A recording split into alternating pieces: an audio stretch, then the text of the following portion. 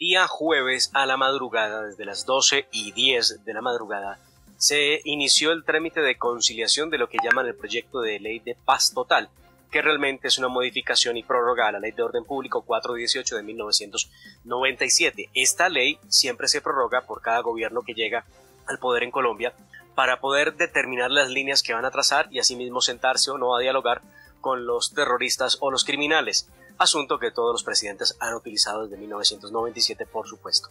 Pues muy bien, en esa conciliación del proyecto que modifica y prorroga la ley de orden público, con el que se otorgan herramientas para diálogos, se ha planteado que el presidente Gustavo Petro pueda denominar la paz como una, situación o una política de Estado y no de gobierno, algo que hasta el momento a nadie se le había ocurrido, por lo menos por respeto al siguiente mandatario.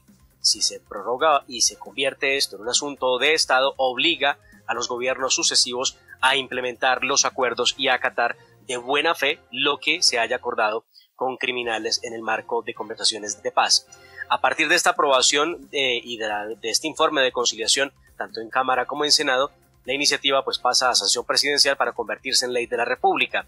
En esencia va a entrar en la búsqueda de la paz total, lo que eh, significa el establecimiento de zonas especiales, agrupar a los miembros de esas organizaciones criminales y también para suspender órdenes de captura y órdenes de captura con fines de extradición, lo que no resulta muy apropiado. En las zonas queda suspendida la ejecución de órdenes de captura, incluidas las de extradición contra los miembros de grupos armados organizados al margen de la ley, al igual que durante el transcurso del desplazamiento hacia las mismas, el gobierno eh, eh, garantizará que no se produzca ninguna captura para que estas personas puedan concentrarse. Aunque el gobierno Petro dice que esto no se trata de zonas de despeje ni cosa por el estilo, y de hecho hay un parágrafo que lo advierte, lo cierto es que sí va a haber, claro, zonas donde se va a adelantar las conversaciones y donde se impondrá la imposibilidad de que la fuerza pública pueda actuar, pues la excusa perfecta es que están hablando de paz y en ese orden de ideas no se puede entrar eh, adelantar capturas y mucho menos a dañar la tranquilidad de estos sujetos que se concentrarán, vayan ustedes a pensar o a saber en cuántas zonas del país. Recuerden que más de 22 organizaciones narcocriminales en Colombia le han dicho a Gustavo Petro que están dispuestas a sentarse para hablar de la paz total, aunque el ELN ha dicho que ellos no esperan recibir el mismo tratamiento que las demás bandas criminales. Uno de los principales reclamos de quienes no están de acuerdo eh, con el proyecto o no lo estaban era que eh, alias Iván Márquez volviera a negociar con el gobierno colombiano, con el Estado colombiano, eh, la paz total. De hecho, Humberto de la Calle fue uno de los que se opuso eh, y dijo que no era posible darle una oportunidad más a este criminal que recuerden ustedes hizo parte de la negociación con las FARC y que es la prueba viviente de que la tal paz por la que Juan Manuel Santos le entregaron un Nobel nunca existió, nunca llegó.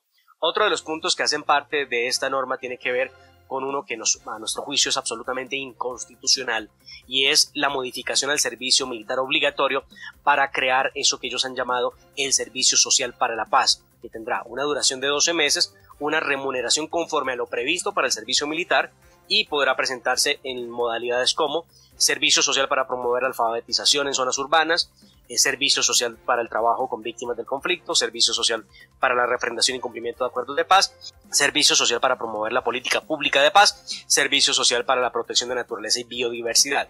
Lo cierto es que no existe en la ley y mucho menos en la constitución posibilidad de homologar el servicio militar que tiene rango constitucional con un servicio social para la paz que nada tiene que ver con ser militar. A ellos les choca mucho que sea militar, pero no que sea obligatorio. Lo cierto es que pretenden homologarlo, lo que creemos nosotros es abiertamente inconstitucional. Además establece que el presidente va a crear pues las denominadas zonas o regiones de paz en las que se van a adelantar los diálogos. Ya les decía yo, hay un parágrafo en el que dice exactamente, no serán zonas de ubicación temporal ni de despeje de la fuerza pública. Eso dijeron con el tema de las FARC. Y hoy ustedes tienen unos cuantos pueblos creados por las FARC en lo que antes se llamaban zonas de despeje o luego se llamaron zonas de capacitación y reincorporación. El texto establece un programa de entrega voluntaria de armas con un plazo de 12 meses y beneficios a las personas que entreguen las armas voluntariamente, eh, el anonimato en la entrega y en eh, también les promete incentivos económicos. Esto es lo que se viene, doctor Fernando, así que ya lo que sigue es conocer en los próximos días quién va a ser o quiénes van a conformar el equipo negociador del ELN para que inicie los diálogos, por lo menos con esos eh, criminales. Luego vendrán los otros voceros y demás que establezca el gobierno para seguir con las 22 bandas criminales que quieren hablar de paz total.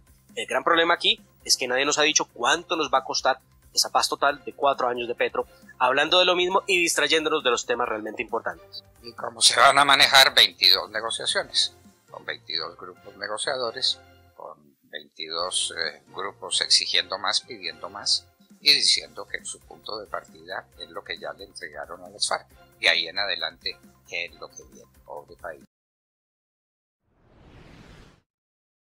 Así que quiero hacer un llamado a esta comisión porque no podemos tener estado de moral que hablamos a favor de los derechos humanos en Colombia,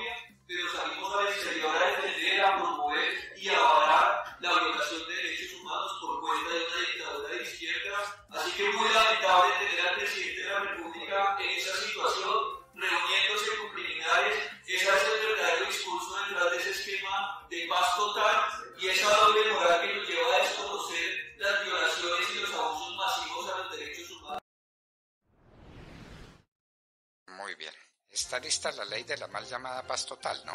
Eh, esto fue inaudito. Lo que hizo el presidente del Congreso. Eh, fue el presidente del Congreso, fue Roy Barreras, el que convocó a las 12 y 5 de la noche para una reunión del Congreso. Claro, sí, una vez se aprueba la, la reforma tributaria para no perder tiempo, porque para ellos el tiempo no se puede desperdiciar, citó a las 12 y 5 para que se reunieran para eh, votar la conciliación del proyecto de justicia, de, de perdón, de ley total eh, para la paz, para la paz. A las, Eh, eso fue lo 12, que hicieron. a las 12 y 12 de la noche termina la jornada eh, de, unas, de unas sesiones del Congreso. A las 12 terminan y a las 12 se levanta la sesión. Se acabó, se acabó el carbón. Nos fuimos. Pero lo que hizo este sujeto fue convocar reunión para las 12 y 5. Alguien tenía que estar Cuando bien informado. todo el mundo estaba Alguien- cansado y quería salir, ¿sabe usted cuánto duró la votación? Porque estuvimos despiertos a esta hora mirando lo que estaba ocurriendo. Duró un poco más de dos minutos. ¿Listo? Aprobada. Es decir, aprobaron lo que les presentaron. Lo que dijeron los conciliadores, eso fue. Reviviendo, reviviendo el servicio social para la paz que se había hundido en la plenaria del Senado. Y logrando también revivir la posibilidad de meter al terrorista alias Iván Márquez como miembro, eh, miembro no, como negociador también, eh, con, como representante de la segunda Marquetalia en unas nuevas conversaciones de paz. Bueno, bien. De manera que eso ocurrió pasadas las 12 de la noche, ante un auditorio ya exhausto. Eso fue lo que hizo el presidente del Congreso. ¿Eso es obra de Roy Barreras? Es el que conduce los debates.